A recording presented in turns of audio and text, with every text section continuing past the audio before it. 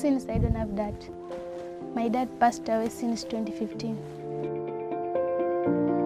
From the time when my dad died, we were just uh, like dormant.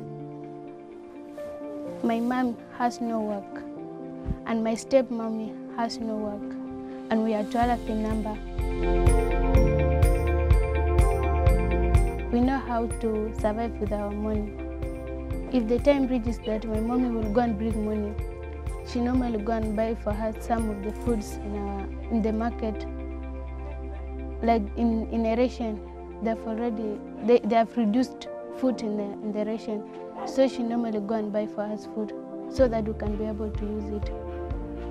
So she normally buy for me school properties and some money she normally buy for my fellow young brothers and sisters that we can be able to to continue with our education.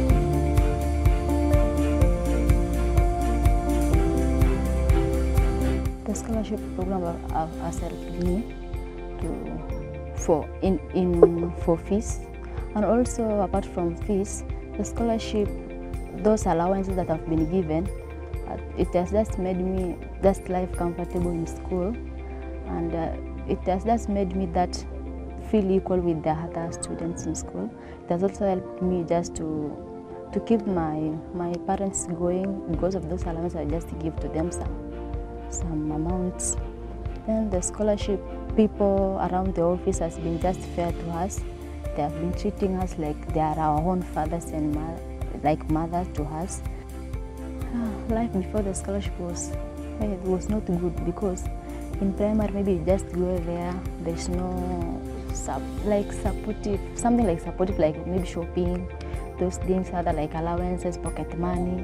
They were not there. You are just like ah let me just stay here. There is no life even you are just like there is no hope. You are just in class. You are just here in the village just staying here. There's, there's no that light of hope that I was having before the scholarship. But to, when the scholarship came, it gave me some encouragement that I can make it because of the support. At least when you are supported, you have that heart to study.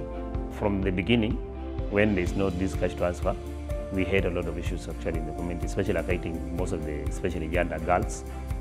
But uh, when now this issue of cash transfer came in, has really helped a lot. Now, like uh, if I, a girl who is a beneficiary, maybe in the household she's alone, attending the school she was it was low, because um, like you know they receive menstruation every month, and when this time comes, you find a girl has to miss a period of uh, maybe three days or four days, even seven days sometimes, uh, not going to school because she cannot afford to buy the menstruation, the, the, the, the, sanitary pads and this. This has affected uh, most of the attendance. And this one, eh, as it was affected the attendance, it has also affected the performance because when she missed the school, you find that uh, um, the lesson was going on, but she was not there. So at the end of the year, when she or the end of the term, when she comes to do the exams, we find she has failed. So uh, when cash transfer comes in, these girls were able to now get their sanitary pads. These, uh, they have increased the, in, the, in the number of attendants in the school. It has also changed the decision making in the community. You find uh, some communities they don't involve maybe their girls or female gender in any decision making. The only source of money now is now their girl. So they have changed the perspective of girl of our community. There is some communities who believe that education for girls is not is not good. They don't believe in education for girls. But since cash transfer comes in, has changed the perception of the community about the girls' education they, they have also changed the lives of other siblings because not other other other other siblings they are not benefiting. If an household of maybe 19, a household of 19 people in that household, but uh, that single girl, she is able to buy maybe shoes for the brother, for uh, even the clothing for the other with that, the little cash they have. Ila pesa ya shule inasaidia sisi sana, ila kitu yote ya shule nanunua kitabu, nanunua kila kitu ya shule, hata inform nenenua nalipa pesa ya shule. Kama anasema leta pesa ya shule talipa, ila pesa ya Wendell Trust hii pesa inasaidia sisi sana, ila saa ila nakaa nyumbani hakuna shule, kama pesa na, na, naenda natoa naenda tunanua hata kama viatu nanunua, hata kama sista sister yake hakuna viatu zinanunua, hata sister yake iko shule, kama iko kitu ingine hakuna tapatia inanua. Hii pesa inasaidia mimi sana sana. Nashukuru hii Wonder Trust sana sana, sababu zamani iko shida kubwa sana, lakini ila saa naingia, alafu nakuja naandika hii msijana nasaidia sisi, hata kama nyumbani hapa nasaidia mimi. Iko siku ingine kama pesa naenda natoa, kama hata kama hakuna chakula nyumbani, naenda nanua chakula ya watoto nasaidia sisi, sababu mimi hakuna mtu nisaidia mimi, mimi iko na peke yake. when we advertise for the scholarships. Uh, we select the beneficiary through a process, and then these beneficiaries that are selected, we place them in boarding high schools across the country.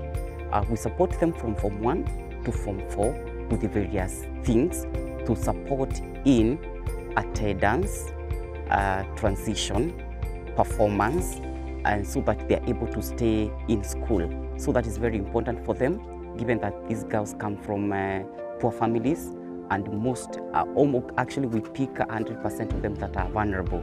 The parents are not able to support them through schooling, and you find most of the times the girls don't go through school. Uh, when they do uh, the primary schooling cycle and it's done, going to high school is very difficult because sometimes the, the society prefers education for boys more than for girls. The support we give to them is uh, we give we pay the school fees for them. They are given the allowances to travel from home to school and back again. We clear the school fees. We visit them in school where they study to see or to check on their psychosocial support, to check whether they have the uniform, to check whether they are healthy, to check the performance in school, what, what are they scoring, and so on. And sometimes we check whether the school is girl-friendly school, where they're comfortable. These girls transit from Form 1 to Form 4. They are able to perform well in school, and the cohort that finished are able to join colleges and universities in Kenya, and quite a number of the scholarship students who finished the school were able to join universities in Canada through WUSC, that is World University Service of Canada. the people working in the scholarship just mentored me. I just felt like I would also be someone like them, people, someone who will be supporting students. Like I work with the people who are supporting students to go to, to school, just to support them go to school, or maybe after, or maybe that I just study law for in, in the sector of the students so that we'll be supporting child's rights. The cash transfer has helped me in buying books, novels, calculators, as I've said that I'm a Form 3 heading to Form 4 student. And it has even improved me. I've attended some tuitions and I've did a lot with this manner. they have been offered to us. And even it has, uh, it has brought incomes to not me alone, but to my fellow students. When the cash transfers comes, it has helped us a lot and it has made us, even some of us, to become who are we from now. Even it has encouraged me to, to stand firm in education and to achieve my goal. And it even has empowered me so that I can empower the rest who are behind me so that they may not lose hope because the education is the only weapon we can, we can support ourselves and we can trans, uh, transform society.